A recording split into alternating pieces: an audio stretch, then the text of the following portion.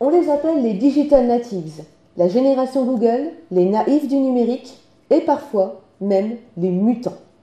Beaucoup de choses finalement à propos de ces adolescents. J'ai voulu les rencontrer afin de savoir ce qu'eux en pensent, ce que eux font vraiment et ce que eux disent de leur relation au numérique. Finalement, les digital natives, je les ai rencontrés. Ils n'existent pas. Ils s'appellent Marion, Reynald, Olivia, Anastasia, Zoé, Mathieu, Cyril. Ils ont entre 11 et 17 ans et je les ai suivis au quotidien dans leur classe afin de les observer et de les interroger sur leur rapport au numérique, leur relation au réseau et à l'information. C'est pourquoi j'espère que ce livre Grandir connecté vous intéressera.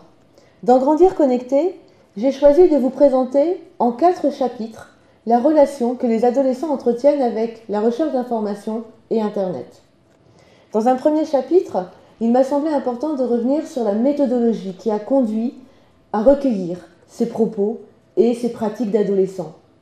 Je les ai observés, je les ai interrogés et on peut même dire que j'ai carrément pu échanger avec eux. Ils donnent beaucoup d'eux-mêmes et j'espère que ce livre restituera cette impression pour vous. De 11 à 17 ans, leur pratique bien sûr évolue et leur discours aussi.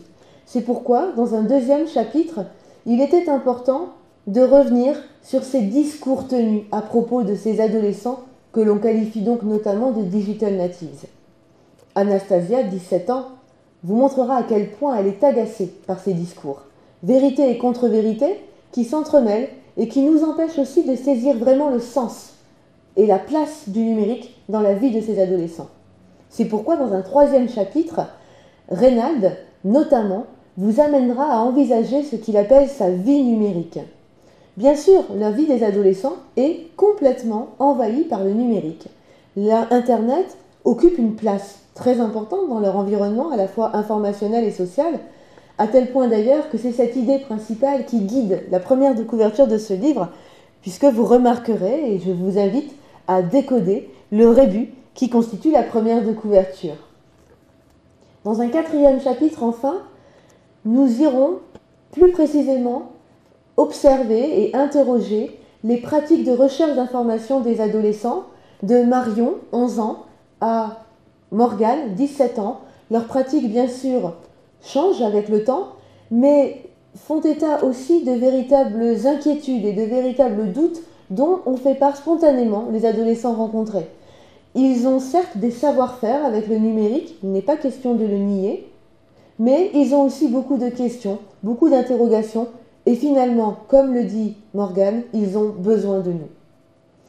J'espère que Grandir Connecté aura pour vous un écho.